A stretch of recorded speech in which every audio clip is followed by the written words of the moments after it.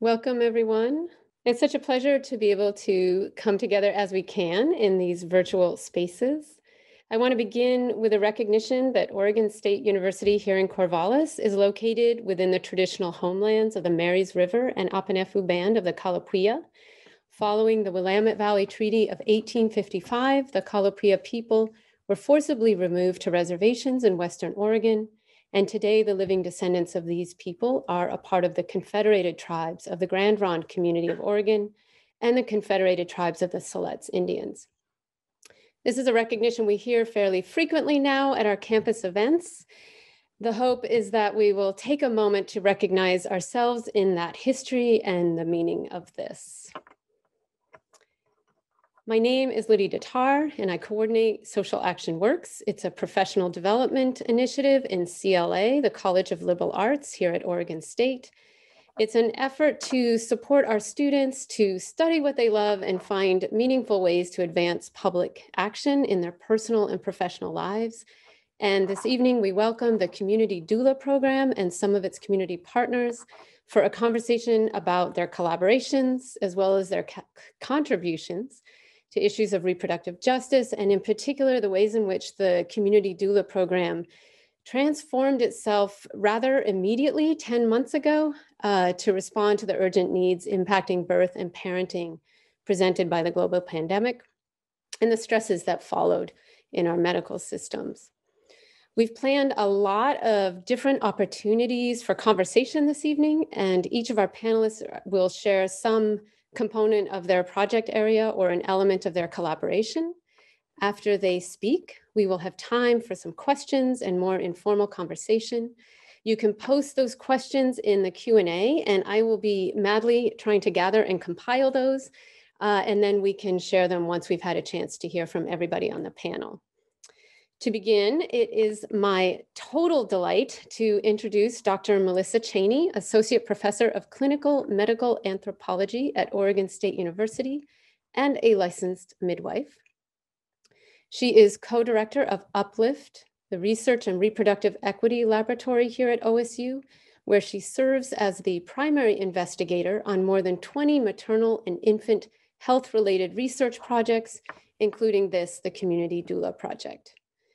She is also author of an ethnography, uh, Born at Home, and co-editor of Birth in Eight Cultures. And she's published more than 60 peer-reviewed articles that examine the cultural beliefs and clinical outcomes associated with midwife-attended births at home and at birth centers throughout the US. And she is the editor-in-chief of the journal Birth Issues in Perinatal Care, in 2019, Dr. Cheney served on the National Academies of Science, Engineering, and Medicine's Birth Settings in America study, and in 2020, she was named eminent professor by OSU's Honors College. She has received the Oregon State University's prestigious Scholarship Impact Award for her work, and she was a recently appointed chair of the OSU Institutional Review Board, otherwise known as the IRB, and she'll assume that post in the spring. All of these accomplishments are uh, amazing, but uh, she is also a stunning mother of a daughter born at home. And by some miracle of universe organization, which I think only Melissa Cheney could pull off, um, this daughter was born on International Day of the Midwife in 2009.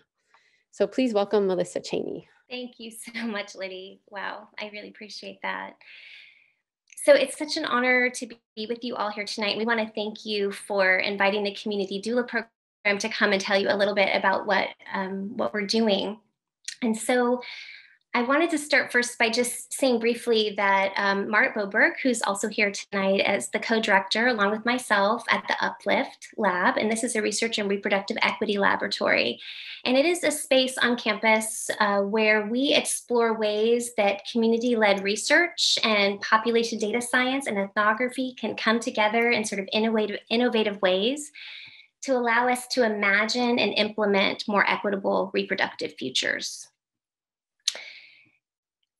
so in our lab, we try to elevate the ideas that we can somehow have rigorous research, but with that also bring along this idea that we can create spaces that promote growth and healing for everyone that's involved, from the students that work in our lab and collaborators um, in the community to the clients that you're going to hear about um, that are served by the program that we work in.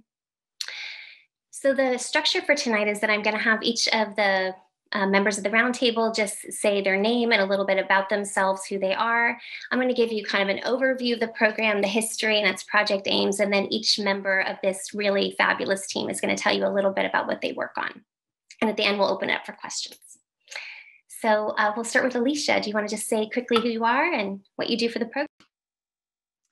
Hi, everyone. Uh, my name is Alicia Bublitz, and I am the program administrator for the, the community doula program. I do a lot of the behind the scenes work involved in running a nonprofit. And Marit.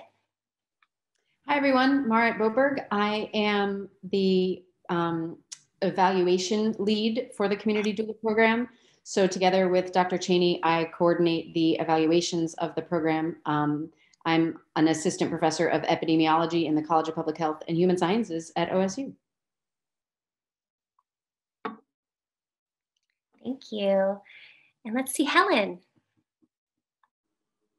Hello, my name is Helen Wong, and I'm an OSU honors student in my third year, majoring in microbiology. Great. And Allie.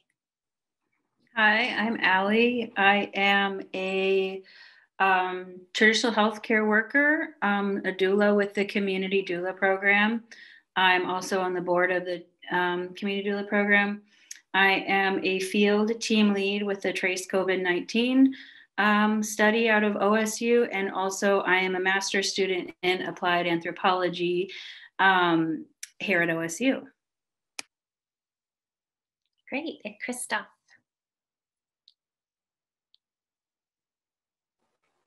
Hello, everyone. My name is Christoph. I am a doula from the Community Doula Project. Um, I am also a PhD student at Oregon State University um, in medical and neurological anthropology. And Jeanette. Thank you, Missy. I am Jeanette McCulloch, and I provide communication support to both the Uplift Lab and also um, the Community Doula Project. Great. And McNai.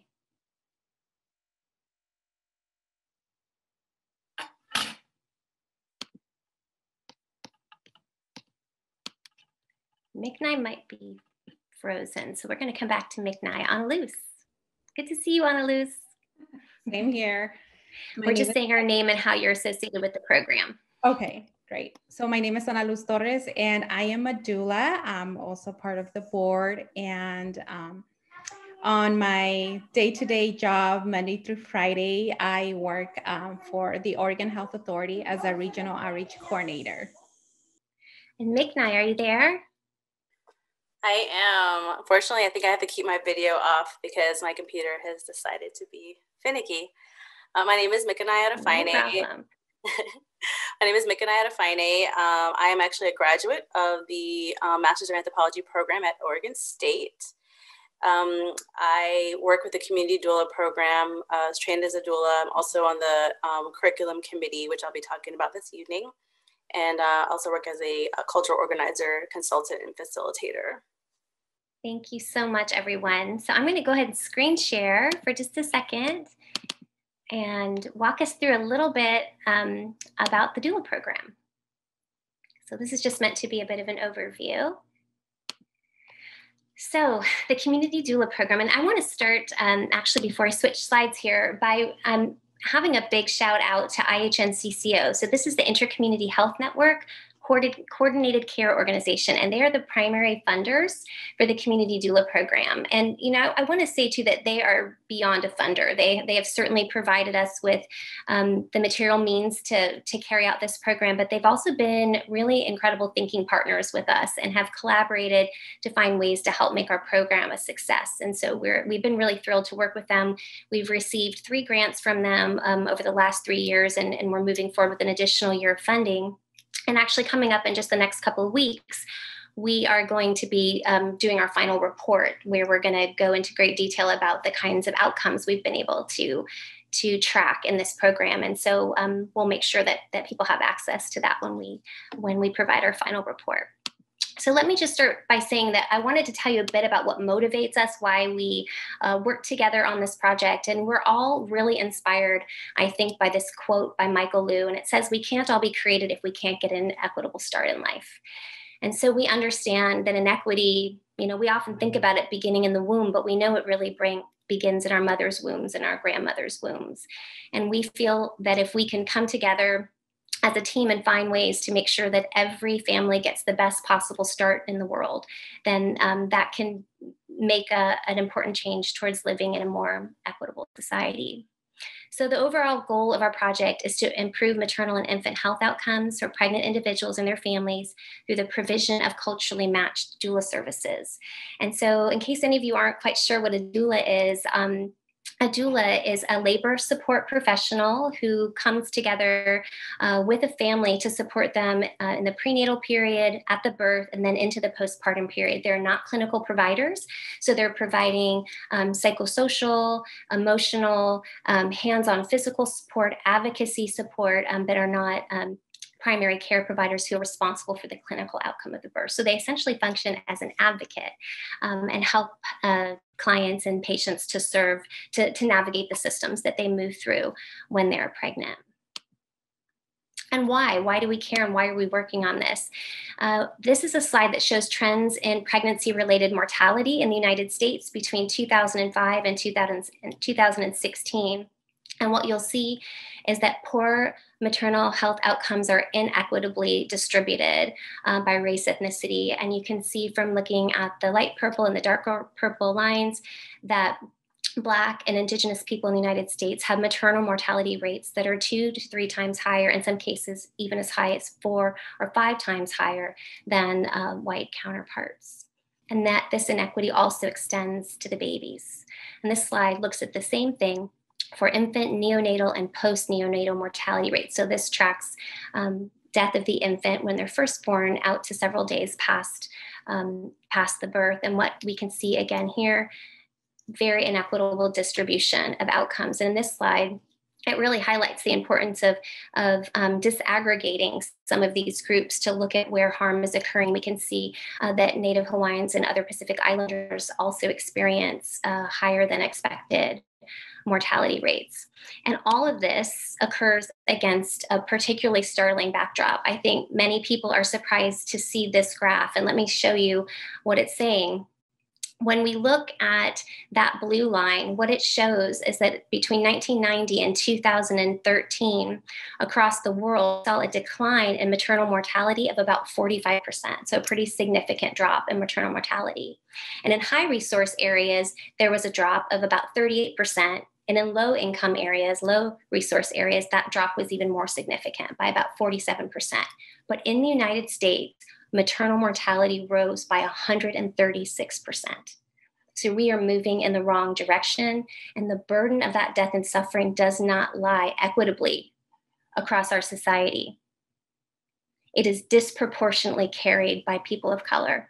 Now, we know from the literature that doulas can be a powerful way to impact and improve outcomes for mothers and for their infants, for pregnant people and their babies. And so the goal of our program was to provide doula services in our own community and then to track them over time to see if in our community and surrounding areas we could see the same kinds of outcomes that other programs have demonstrated. So our goal was to recruit train and reimburse culturally and socially diverse doulas to serve pregnant people in three counties so Linn, Benton, and Lincoln County. We aim to recruit and train 30 doulas, and we trained over 100 doulas and we have 50 more on a waiting list. So I can remember back in the early days of our program when our funder was like, well, I'm not sure you're really going to find 30 people who want to be doulas. And um, we did. Uh, and they are all incredibly extraordinary. Our second goal was to improve birth outcomes and reduce health inequities through one on one support and advocacy provided by birth doulas, and to off, uh, offer doula support services to everyone who qualifies uh, for Medicaid in those three counties um, who were interested in having that care. As our program expanded over the last three years, we added some additional aims. We wanted to train bilingual Spanish, Mandarin, and Arabic speaking doulas, and we've been able to do that. 28% of our doulas speak more than one language. We're able to off- offer services in 10 languages now, which is pretty extraordinary. We also wanted to train a subset of multilingual doulas as state qualified or certified healthcare interpreters. And we, we learned very early on from our doulas that often the role of the doula, when they were bilingual, got conflated with interpreters. And that oftentimes pregnant people don't want to talk on the phone or use an iPad for translation when they are in labor. And so often our doulas were working as interpreters at the same time as doulas, but not being compensated for that skill set. Um, I will say that the pandemic interrupted that plan, and we've had two people who have been able to do that cross training training. But our hope was to have six, and so um, when those trainings are available again, eventually we'll we'll take that aim up again. We also wanted to develop a training program for doulas that could be centered in community colleges so that people could have access to training to become a doula in a way that was more sustainable. It's actually very expensive to get trained as a doula. It can cost up to several thousand dollars to complete all the training. And this is a major reason why so few people are actually able to become doulas. And then COVID hit partway through um, our planning. And so we task shifted to focusing on what we saw as the greatest needs uh, in the communities that we're working in. And we arranged some multilingual pandemic parenting supports, um, online groups for folks. And as Ali's going to tell you about in a little bit, um, many of our doulas task shifted to become community leads for, um, for testing and for contact tracing. Okay, and so the last thing I was going to let you know is who we serve. We um, are able to serve anyone, and we're specialized to serve anyone who qualifies for Medicaid who is categorized as a, as a priority population. So these are folks who are racially or ethnically diverse, speak limited to no English, are young parents, so that's defined as 21 or under, are medically high risk, so have medically complicated pregnancies, people who are experiencing um, homelessness or who are underhoused, and pregnant people with low or no social support. And this is the uh, category that's actually allowed us to serve anyone who qualifies for Medicaid because everyone can find someone in their life who's not supportive um, of their pregnancy. And quickly, what our doulas do is that we have referrers all across these three counties who, when they encounter um, people who are interested in having a doula, they reach out to our coordinator who finds out about the client and then connects them to a culturally, socially, and linguistically matched doula. So that's a doula that hopefully has um, some similar kind of life experience to the client. They have two prenatal visits with the client, and then the doula's on call for two weeks before and after the anticipated due date. They go to the birth whenever the person wants them and stays for at least two hours afterward to make sure that breastfeeding is established and the family is safe and comfortable. And then provides two to four in-home visits to the to the um, mother and the baby, and during that time screens for postpartum depression. And then all across that course of care, the doula is also working as a systems navigator to try to help clients get connected to the services that they're most in need of. So that's kind of our program um, in a nutshell. And I'm going to stop sharing here so that we can start to hear from the members of our, our group here. So I was going to start off by asking Christoph if you would say a little bit about your experience uh, training in our program. Sure. Um, if my audio goes weird, please let me know so I can shut off the video um, and just do audio. But I had, I think, I think I was in the first cohort of doulas in the program. Um, so there were a lot of spinning plates that were happening. But I think the way that it ended up folding was that we had so many different people from so many different um, spectrums of life um, you know, you have different spectrums of age, you have people from various cultures and linguistic backgrounds, you have people who identified as different genders. I myself was a male in the program. Um, and what I found remarkable was that, you know, at the same time I was going through, you know, my MPH at, at Oregon State University, I had had clinical training before, but this was the first time where um, the person that was doing the training, that was educating us, was more willing to be educated herself during this process. And I think that's what made the doula program the success that it is today is that she continues to be like that, which means that from her, there are, are births of different cohorts that have come and gone through different conversations within you know a, a certain context that we're coming in. Um, and i think that just makes for a world of much more prepared doulas. That was my experience. Thank you so much christoph.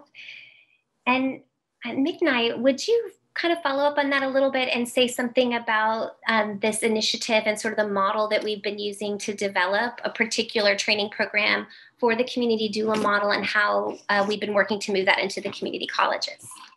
Yes. Um, so I actually have here um, initial letter. So I, I did, um, just to backtrack, I did the training with um, a woman named Deborah Catlin who has been training doulas for know, 20 years or yeah. Um, she's like this doula guru, and I was really fortunate to get to do um, the training program through her. She's DONA certified, and she is retiring and graciously, as an elder, decided to um, hand over all of her knowledge to create a doula training program for Oregon birth workers to be implemented through the community college system. And so we worked with her, um, and I'm just going to read here what she told us um, initially in a letter. Um, so I was a curriculum committee member.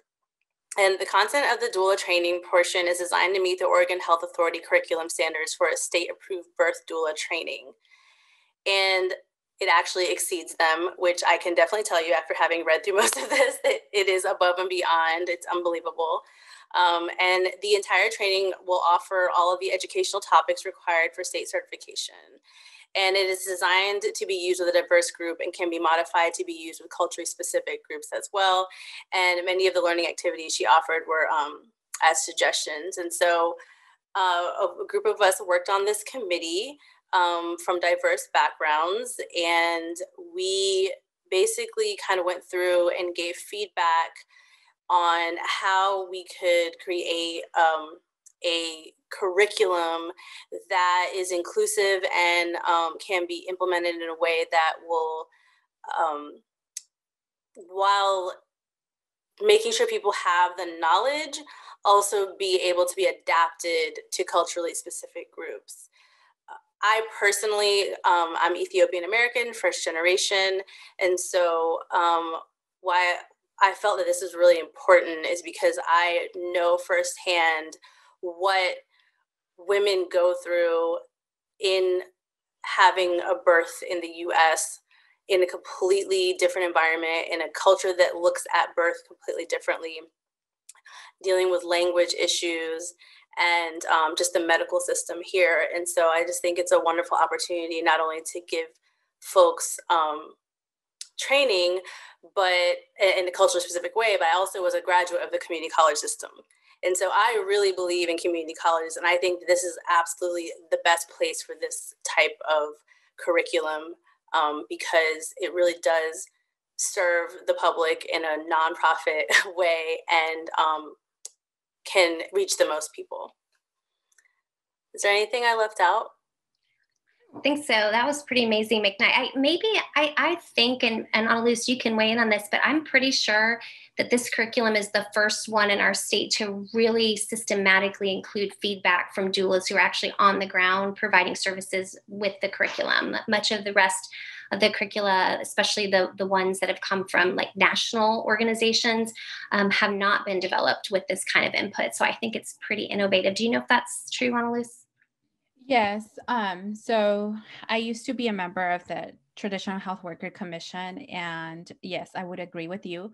Um, especially the level of participation coming from doulas, it, it was just it was just phenomenal. Um, having a lot of different um, from different backgrounds uh, providing that feedback um, and from you know having experience already been trained and then be i mean we had the experience being on the field and then to be able to provide that feedback hey we need this additional training or uh, maybe expand here a little bit more and so that was wonderful um, so yeah definitely um, i think that's what's making this training um, very very complete very whole and uh, very specific to um, the communities that we serve in these um, local counties lincoln um, Linn and Benton. So yes.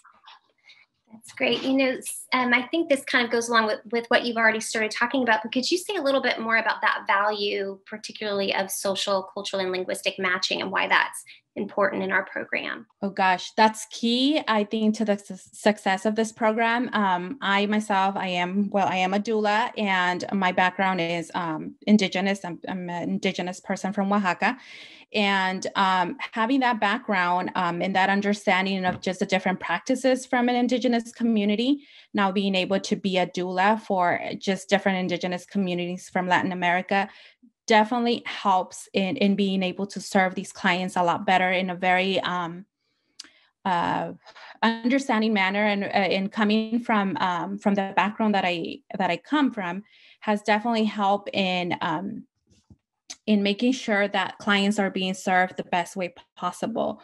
So, um, my background is in public health. I've been working in public health for, I don't know, about 10 years. and um, even though I, you know, I didn't major in public health in school, but I've been so so long in the field that I am very familiar with um, public health, and so that, in addition with the um, expertise of just different um, indigenous cultures has been very important to serve uh, the the clients that I've been serving, which particularly I think that over ninety percent of them have been um, um, from indigenous background from from Guatemala, and um, just having someone for them having someone that understands the culture that is patient enough to try to ask more questions and to try to understand more where, where they're coming from is key in the uh, type of care that they're going to get, the level of respect that they're going to receive um, because of their cultural practices. So um, having having someone um, helping them who respects them and who understands the culture is very important. I think just like for anybody else, you know, having someone that respects you and understands where you're coming from is very important, you know, when you're at the doctor's office.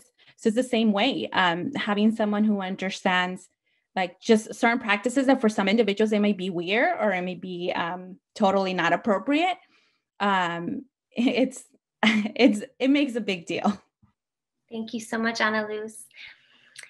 So Helen, I, I was wondering, let me say that Helen um, is also the URSA fellow in our lab, so in, an, in the community doula program. So she has been working as our research fellow and is also an honors college student. So could you say a little bit about your involvement with the program and maybe some things about opportunities for students to get involved in research?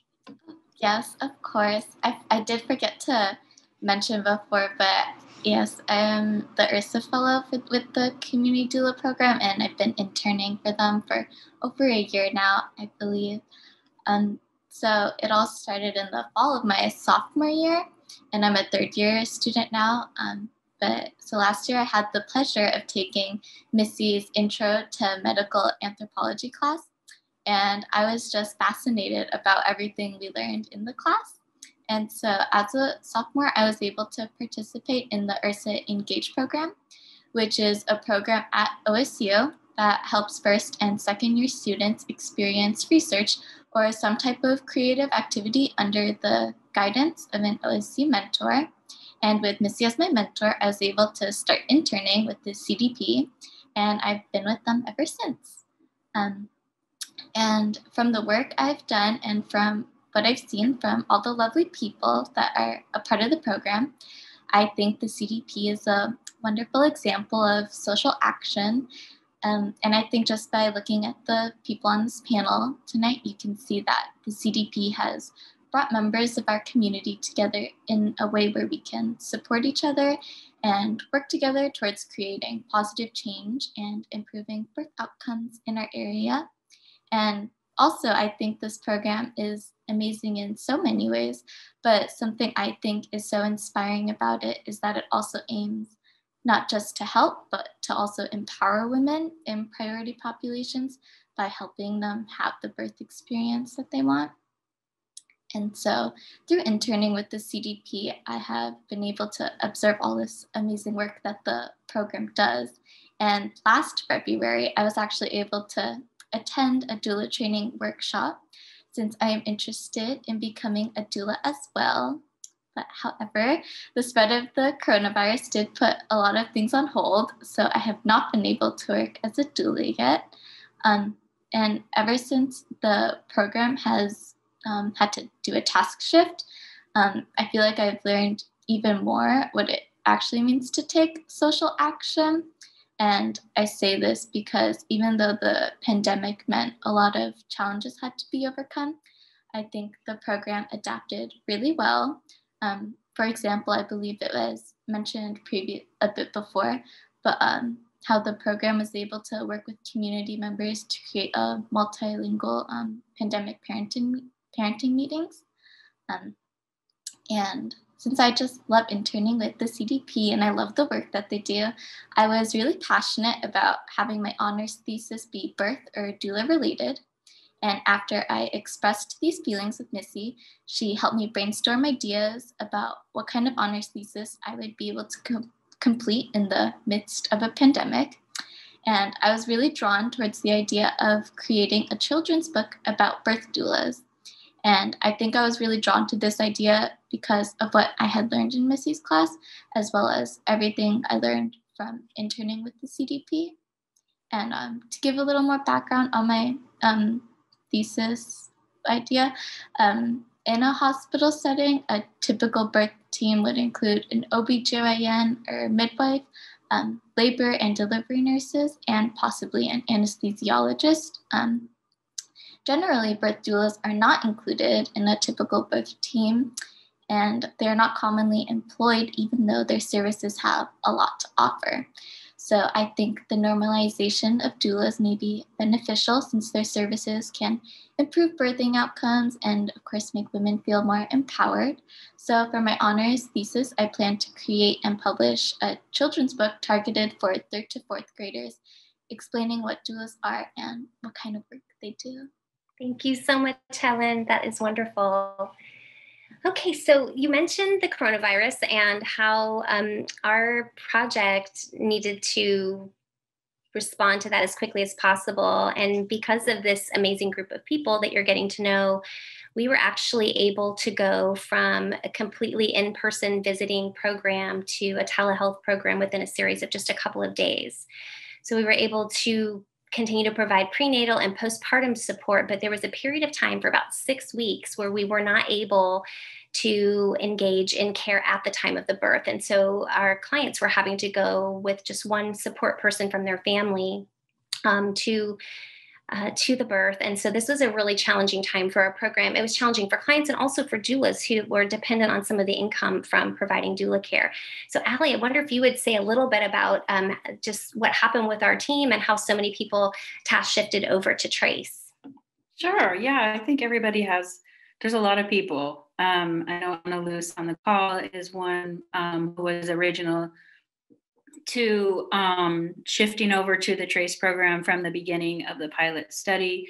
Um, the um, so for my experiences, I went to I did a, a couple weekends in Corvallis with Trace and Bend and Hermiston, Newport.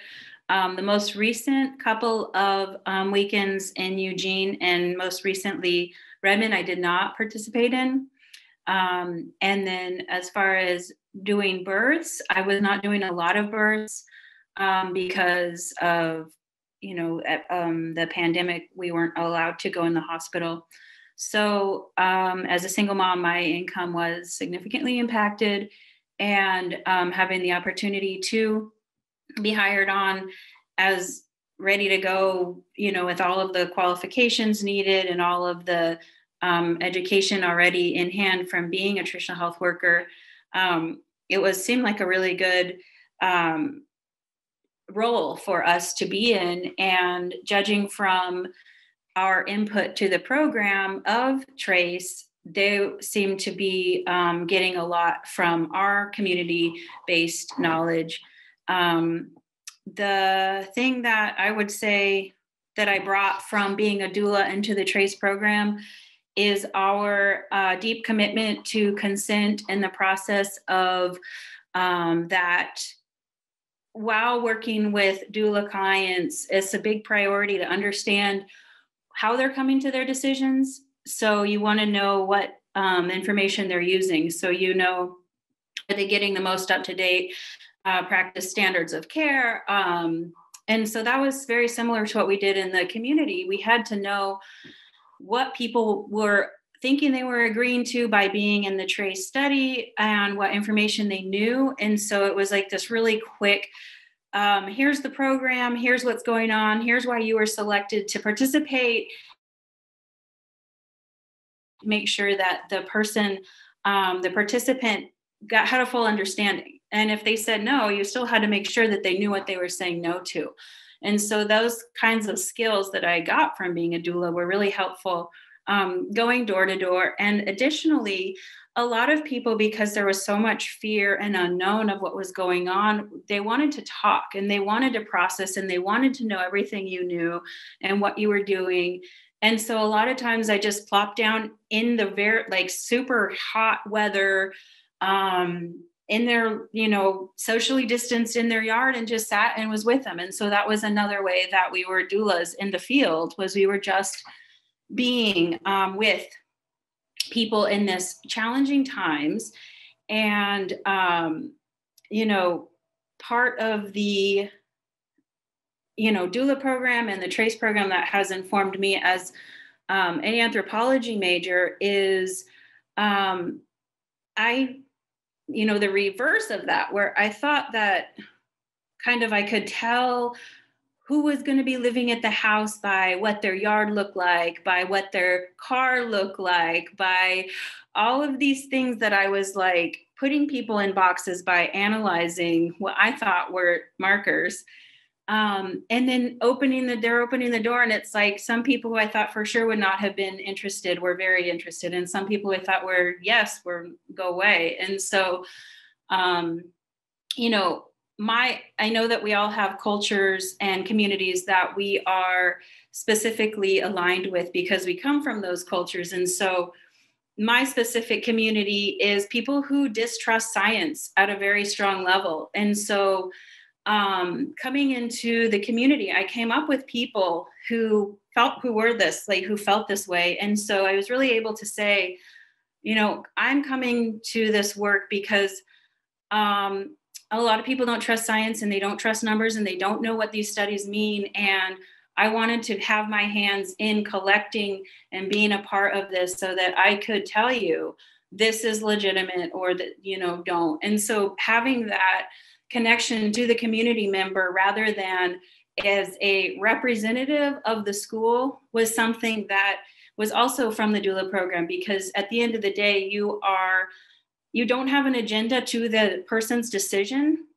You have an agenda to understand that they have all of the um, you know information that they need to make a make a decision. So and i know that you know the other doulas turned Trace uh, team leads will have a lot of the same experiences, but and I know that you know based on different identities, we have different experiences, and so there's a lot of stories that could come out of this. But I'm going to stop talking now. So thank you. Thank you so much, Allie. I, would like to take a minute to talk with you, Alicia, a little bit and see if you could say something about um, the interns that have worked in our program. So I, I should say, by way of introduction to this topic, that we've been able to run this program on a pretty um, s- small budget, largely because this like incredible group of people that you see here, we've gotten so much um, work and um, just commitment from people who who are interning or trying to find creative ways to connect the work that they're doing at OSU, for example, for course credit, with work that can really support our doula program. And if we had to pay um, the full amount of what all this labor has been worth, I don't know that we would have been able to get the program off the ground and collect the amount of data that we have to really demonstrate the um, impact of this project. So it's been a labor of love for, for a lot of people, and we could not have run this program without the input of um, our interns. So um, if you want to say a little bit about that, Alicia, I know you've played a really important role in helping to coordinate them. Sure. Um, so I got involved with the community doula program um, largely because I was involved with the board and I have a background in um, nonprofit management work. Uh, I do actually have a connection to OSU, but it's like a decade ago. So I forgot to even say that. Um, and so I came into this thinking of it sort of organizationally and all of the ways in which um, we want to provide direct services and we um, we do maintain a very small budget because we put all of our money into programming. Um, and what but what that ends up having to look like. And so um, i actually was really excited to get to come talk to students today because i wanted to do the um, uh, give some advice that i received when i was um, 16 and didn't follow. So today is one of those um, do what I say, not what I did uh, moments. Uh, and I want to just encourage people to look at the different ways that they can be involved. So many people get involved in liberal arts um, degrees and so forth because they're they're really excited about making a difference in the world and they want to look at um, getting involved in nonprofit work or um, maybe government work the way that Ana Luz does and so forth. Um, all of this public sector work and we think we're going to learn all about all these inequities and everything else. And then it comes down to it. And programs need things like data entry, programs need accountants, programs need an understanding of what business looks like, programs need um, database software development. And so forth. So we've been really lucky um, to work with a number of people, many of whom were interns from OSU, um, that can that have brought all of these diverse skills to our program so that we have people who are um, studying uh, in maybe the business department. Um, I also give presentations in the business department where I'm like, hey, the nonprofit world needs you people. Um, but have an understanding of what a balance sheet looks like or what um, you know nonprofit accounting looks like uh, and some people who have computer science backgrounds and can program us a fabulous um, database wherein now we can put in a name and realize that this person um, had a birth with us in 2018 and now they're back for their second um, baby with our program and how exciting that is for us um, as a program.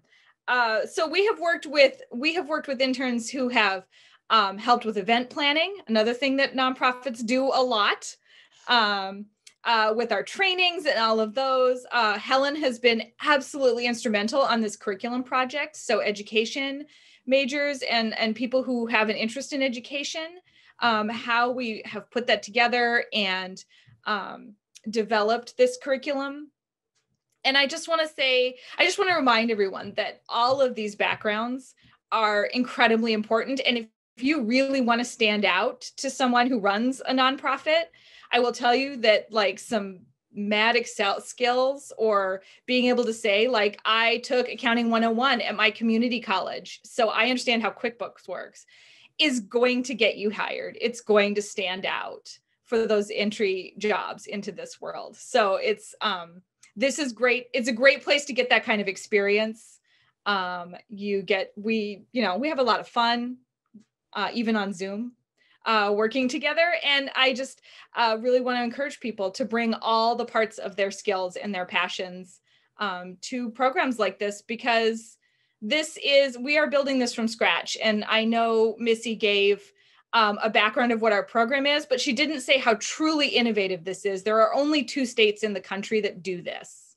There are several others that are trying, but Oregon and Minnesota are the only states in the country that use Medicaid money to pay for this evidence-based maternal health care um, right now. And so we are really paving a way um, and we need all the skills that you bring to that. Thank you, Alicia. And yes, and if anybody knows a bookkeeper, please contact me because we're in deep need, as an aside. So, speaking of programming amazing databases, we are going to go to Marit Bovbjerg, who did just that for us. And Marit is actually going to tell a little bit about our process of tracking our outcomes because this is also a research project. For our lab, we love when we can be contributing to scholarship at the same time we're engaging in direct services that can have an impact immediately on the lives of people, but also contribute um, to building a knowledge base. And so, Marit's going to say a little bit about that. And I'll screen share again so you can see a few of the um, the graphics that describe some of the outcomes for our program. Okay, so thanks, Missy. We, mm-hmm. um, again, Missy and I started this as part of a team. And we were very clear from the beginning, as she said, that we wanted not only to improve maternal child health in our Tri County area, but also to evaluate the program, not just because, you know, we're academics and so we need publications in order to keep our jobs. And we also have students who need publications in order to graduate, but also because the chances of this program being able to be scaled up like across the whole state we'd need to go to the legislature with numbers you know? And um, so we have uh, planned both quantitative and qualitative evaluations from the beginning. And so um, based on these slides here i'm going to start uh, with some of the quantitative evaluations. And so we ask the doulas to collect a little bit of information from the moms and about their births and then we you know analyze the data and these are preliminary numbers. They're also not published yet so please don't uh, tweet them or share them or take pictures of the slides or anything like that. So as missy said earlier we have recruited over 100 doulas. Our doulas constitute fully one third of the registered traditional health workers in the state of Oregon, which is just amazing. And this slide is a little bit out of date. We now have doulas who speak 10 languages Arabic, Spanish, Portuguese, Mandarin, English. I don't remember the other five, but there's lots of them. Um, and families that have a community doula are twice as likely to reach their infant feeding goals. Basically, pretty much everybody who has a doula initiates breastfeeding which is just fantastic. Um, the normal rate in Oregon for women who initiate breastfeeding is 61%, and we're up over 95%. So that's just amazing. And um, again, this slide's slightly out of date. Since this was made, we've had one woman who delivered preterm, meaning before 37 completed weeks of gestation, your due date is at 40 weeks. And so before 37 weeks, you're called preterm. And preterm births are associated with substantial morbidity and mortality, mostly for the infants. Um, and we've had over 200 births. And at the kind of expected rate of preterm of eight or 9%, that would be like 15 to 18 preterm births. And we've had one so far. So that's just amazing. And we've cut, our doulas have cut the cesarean rate from 30% down to 15%. Um, and both of those things not only improve the health of uh, women and infants, but also substantially reduce costs. And we don't always, when we're doing kind of reproductive justice and social action works kinds of things, we don't always like to talk about money. But that's how you get like the legislature and the insurance companies on board is showing that they're going to save money by paying for doulas. You know, they can pay for a doula, and even if they're paying that doula a thousand dollars, which for the record is way more than the doulas are currently getting reimbursed, we're working on that. But even if you pay them like totally a reasonable wage that you know somebody could make a living on, they're going to save so much money by preventing these cesareans and preterms that it's going to totally uh, come out in the wash. And I am working with an MPH EPI student right now to analyze some cost data from this, but I don't have numbers for you yet, unfortunately, but it's going to be good. It's going to be good. I can feel it. We epidemiologists love to like feel things and not, you know, have data.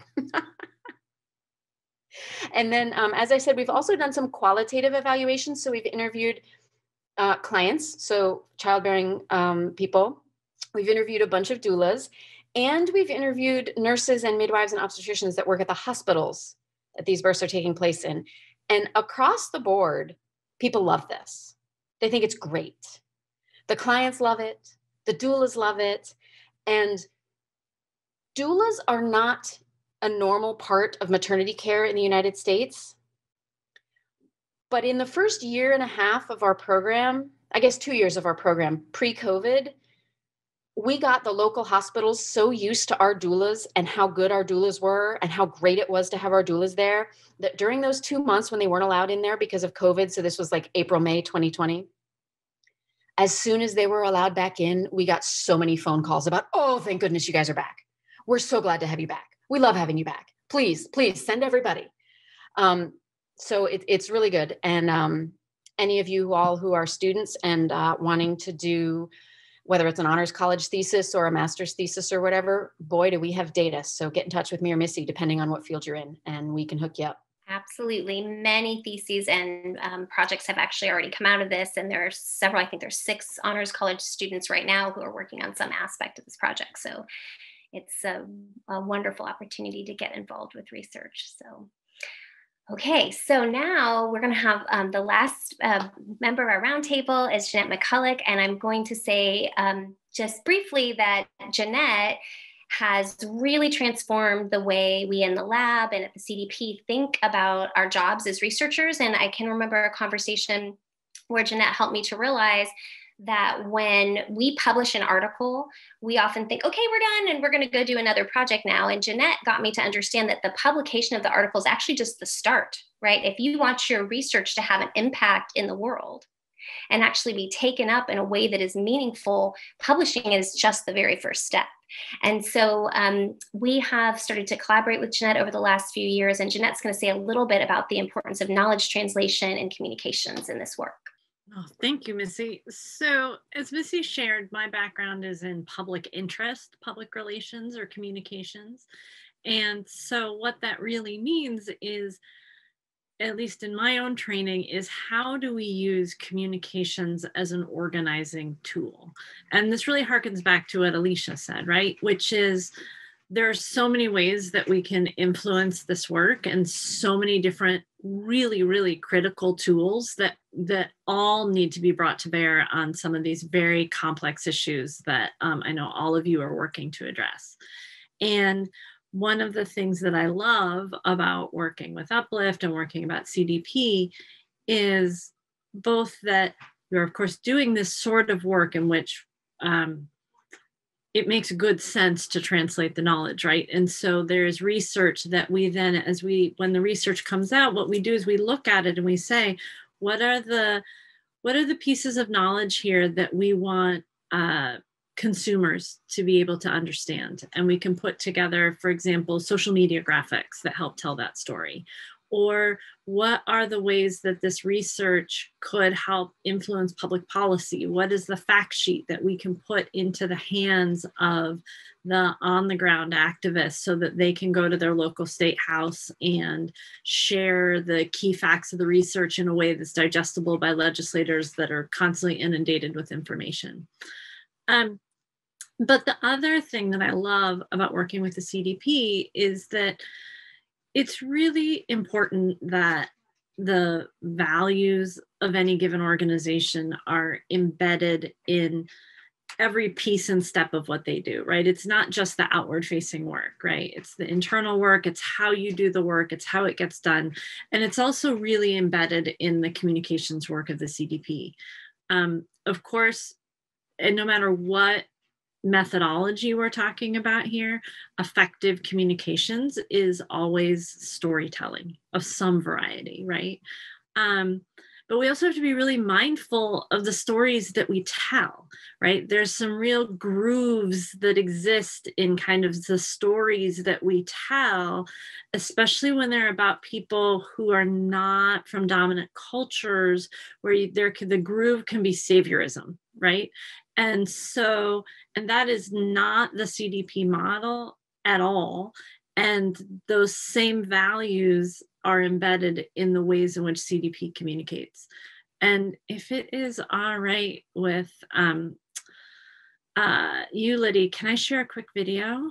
Um, let me grab the screen here. I'm a community doula. Soy una doula comunitaria. Soy la community doula. Eu sou uma doula em minha comunidade. I am a community doula. Soy una doula en la comunidad. أنا ضمن مجموعة دولة التي تساعد المرأة الحامل. Hi, I'm a community doula. Kumusta po? Ako ay isang doula sa pamayanan namin. 我是 need a doula 在 Corvallis. أنا دولة من أجل الذين يتكلمون العربية. ਮੈਂ ਆਪਣੀ community ਦੇ ਵਿੱਚ ਡੂਲਾ ਹੈਗੀ أنا حجزت ولدت إيه. I'm a community doula.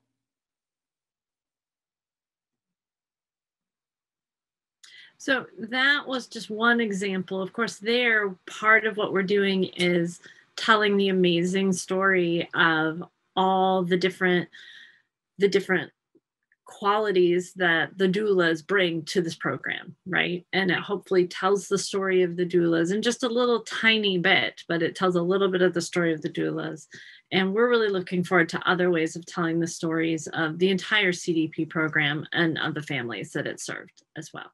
Thank you so much, Jeanette. So we're about to move into the question and answer period where we have some time uh, with you where we can um, talk and answer your questions. And so I, I just was going to close by saying one more thing about the way we work. You know, I, we recognize in the community doula program and in our lab that when we move in academic spaces, um, that often our language is deeply steeped in critique. And one of the ways that we perform how brilliant we are is by tearing things down and critiquing them. And certainly there are places where critique is important but sometimes we spend less time thinking about how to build something in its place.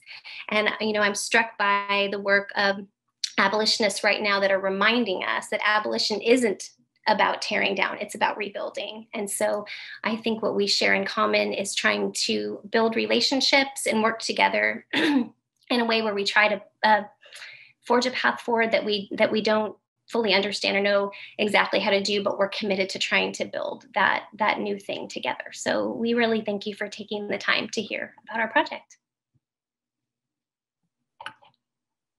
Thanks missy. Thank you everyone.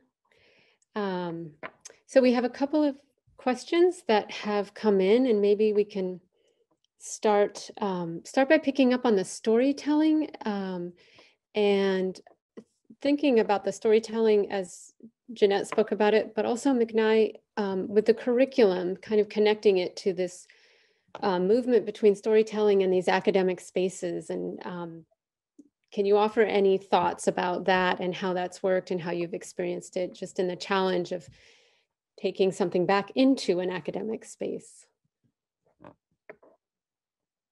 Or, or anyone, maybe multiple, several of you kind of touched on that. So maybe there are ways that um, multiple of you could answer. So I was hoping Mick and I would jump in because she and I had a lovely conversation just today about some of these topics. Um, oh, sorry, Mick, Mick and I, go ahead. You go first. Yes, so you first. um, no, I was just going to say that, and I, of course, can only speak about taking it necessarily from the academic and back out. So I really look to you all to the experience of bringing it back into the academic space. Um, but I think what is so important about the storytelling piece is that we are really thinking about in this work who is it that we are trying to communicate with, right? Who are the audiences that we're trying to communicate with? We used to really, really be saying, okay, what are the messages that we want to broadcast out, right? We're all kind of speaking with our big, you know, megaphone out, out, out. And I think what is so important is the point that Missy brought up at the end, which is really these stories are just the beginning of a dialogue that builds relationship, right? And so I think this is where hopefully the back and forth happens is in the telling of the story out, but then also hearing the story back as to how that piece of information influenced that community member in whatever way that may be so that there is this iterative relationship that's building on the science but it's also building on the relationships that are really at the core of all of the work. Thanks, Jeanette, for going first. Um, so one point of clarification I am not an academic. I did come back to school um, after 10 years of being out of school. And um, when I got the opportunity to be on the curriculum committee, it really it really allowed me to um, engage with this in a way where we're yes we're bringing it back into an academic space but i almost see it more as a vocational training which i really really believe in. Um, and so in the work that i do now i do work adjacent to academia. I do work with academics but i'm really um, more on the community engagement side and also trying to take academic spaces and bring them back into a way that is more rooted in indigenous values and the values that I grew up with and working class values and refugee and immigrant values that I feel are really, really powerful. And so um, for me, working with the curriculum community, I did I did um, work as a TA at OSU. I did work in curriculum development and higher education. So I did get those skills. I'm super grateful for. Um, but I also just wanted to take those and transform them into a more equitable, practical um, application. And so the community doula program is a per, the curriculum committee is a perfect example of that. In a way, you can really get back to your community and figure out how can we take all these big academic sort of resources and ideas and and transmute them into something that is actually practical and usable for our people and that will um, I have a degree in applied anthropology. So to me, I'm like, this is truly applied work, right? Like taking big concepts and theories um, and applying them in a way that actually creates change um, in the communities that you want to. So yeah, that's my take on the the academic aspect of what I'm doing with the program. So we have two related questions. I'm going to pull them together. The first is, as a student, who doesn't live in Oregon, is there something we can do to promote doula programs in our states? And the related question is um, as a graduating senior at OSU, what are ways that um, I can be involved with a community doula program beyond that time at OSU? So maybe we can move out to that larger focus. Anybody want to take that one? I, I was going to jump in and say that one of the things, um, as Jeanette was talking about, sort of living both um, your external, your values both externally and internally in your organization. One of the things I'm very proud about about this organization is that we are deeply committed to democratizing all of the knowledge and mistakes and everything else that we've made.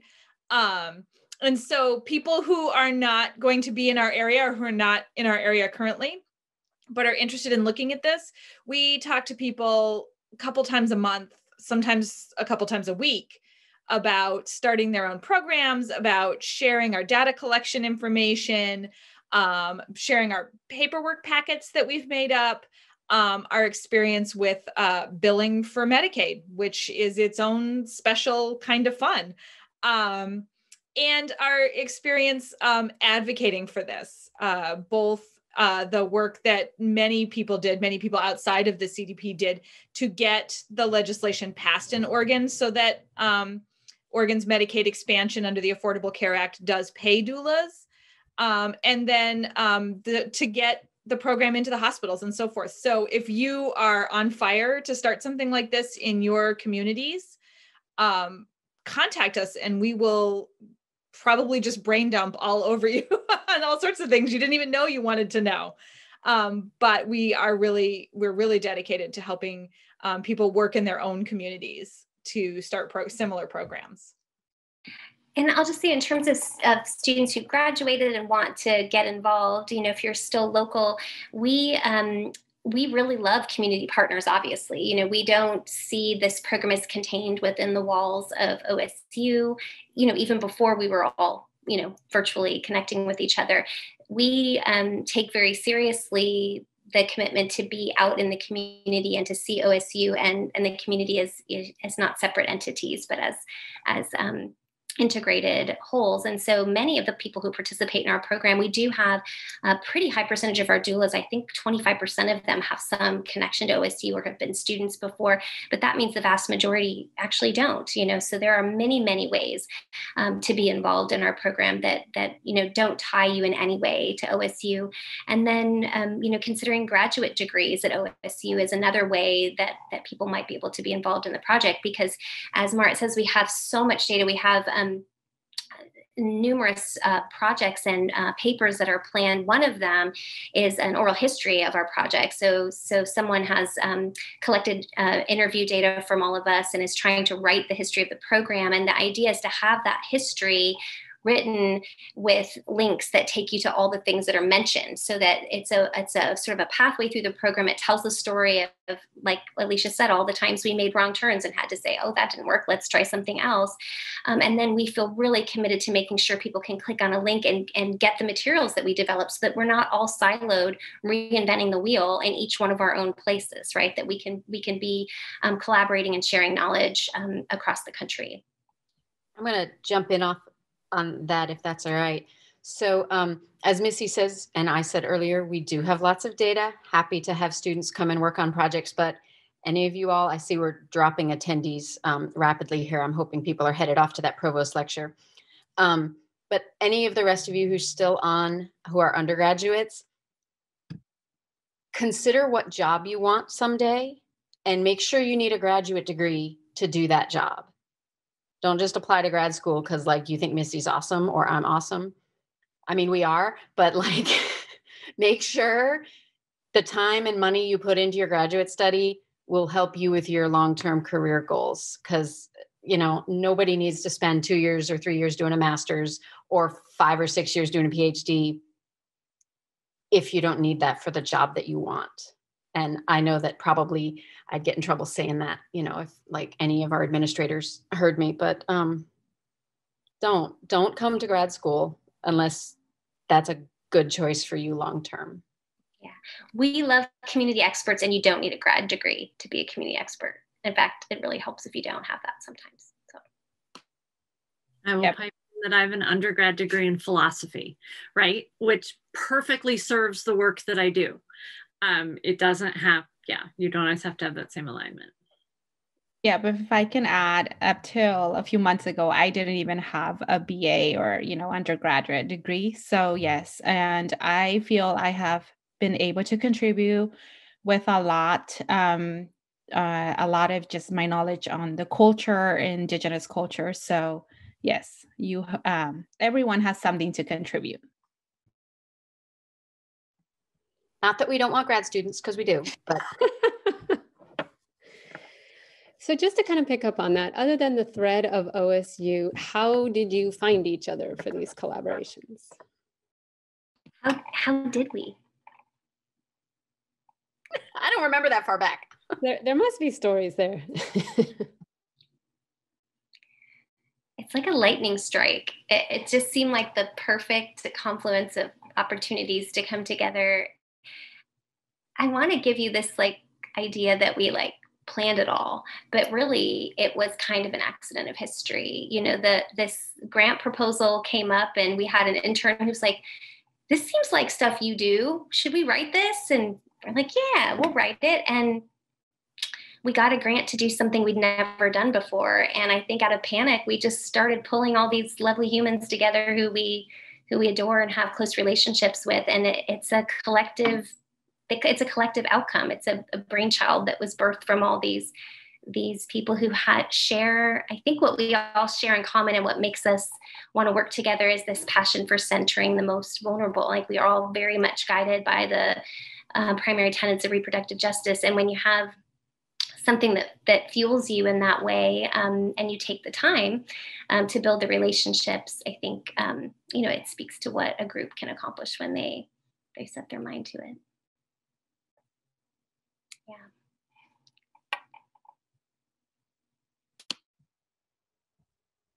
Thank you. That was possibly maybe um, given that our we are competing with the provost right now.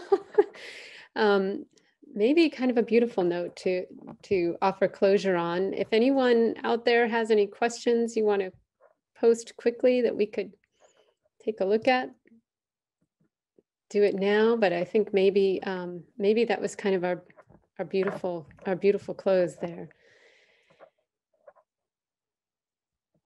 Thank you so much, Missy and Alicia and Jeanette and Marit and Ana Luz and Helen and McKnight and Christoph and Ali. Uh, thank you, Aaron, Aaron Sneller in the College of Liberal Arts, who has been sort of the wizard behind this webinar in, in terms of holding it all together and bringing us all together. So thanks very much. And um, uh, we wish you a good evening.